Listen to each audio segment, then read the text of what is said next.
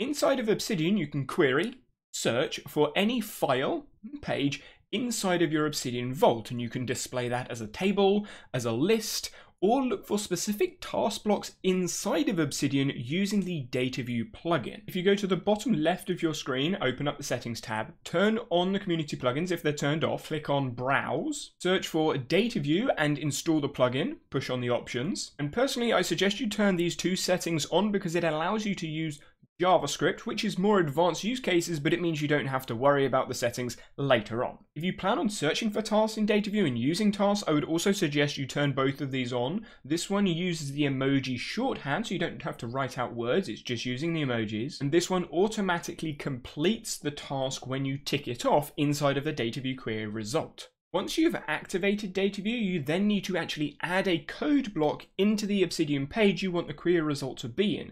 So you can push the three ticks and that will create a code block. To use DataView, you type DataView next to the top three ticks, and to use JavaScript, you add JS on the end of the DataView.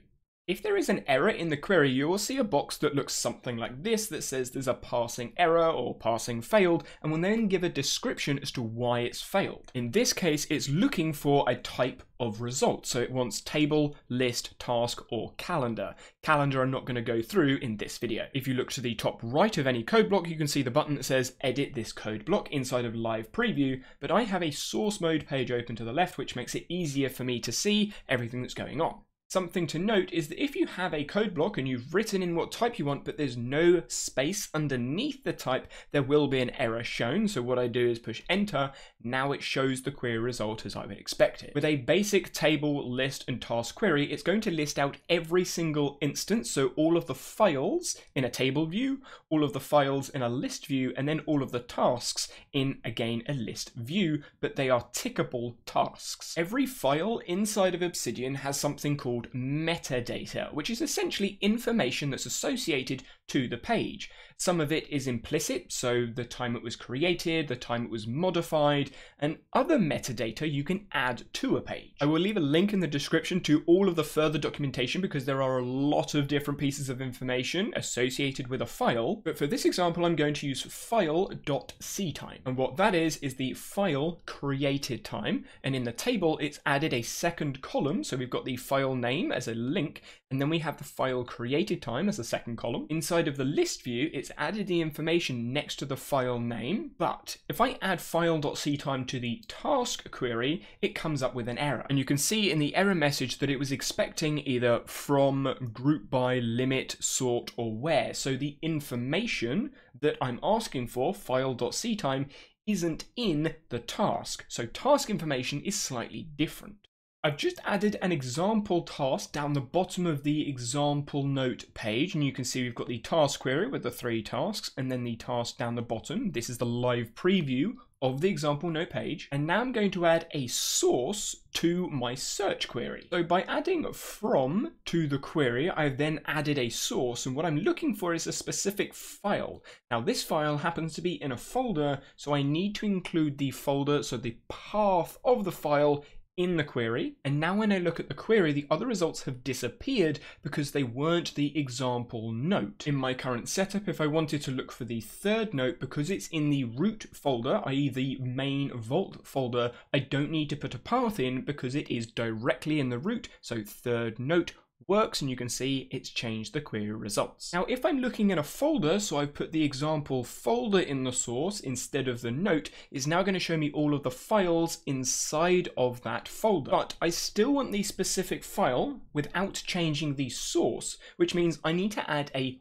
where clause. So I've added where, then I've added the information that I'm looking for. In this case, it's the file name, so file.name. Very similar to the file.ctime, it's information on the page. Again, have a look at the documentation linked in the description for a long list of it all. And then using an operator, so in this case, equals, it could be greater than, smaller than, not equal to, but in this case I want the file name to equal and then inside of quote marks I put the name of the file example note. And you can see the where clause works in the list query and the task query just the same as the table. Going back to all three files I have in the vault, what I actually want to do now is sort the files in a specific order. Now that I've added sort to the query and added in the information I want it to sort by, in this case file.ctime, it's then going to sort the results for the file created time. I can add ASC to the sort results in all of the queries to change to the ascending order, or use DESC for descending order, and the results will change accordingly.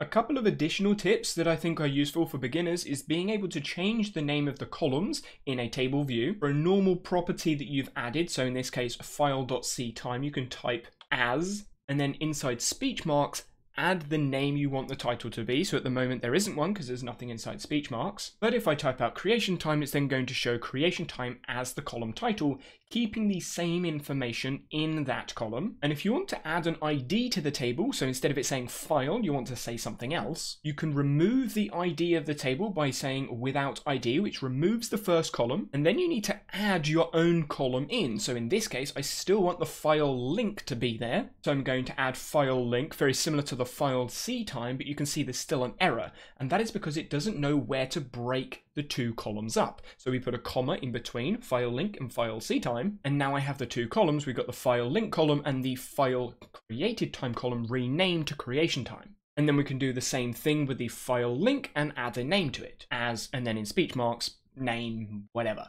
With tasks, you're likely going to look for completed or uncompleted tasks or want to group them in a view. By adding group by to any of the queries, you can group the results. So that can be done in a table, list, or calendar in any other JavaScript data view query. But inside the task query, you can group by status because status is information, like ctime, but is specific to tasks inside of Obsidian. And now when I go over to the data view query and say complete the example task, you can see it's now completed that task off.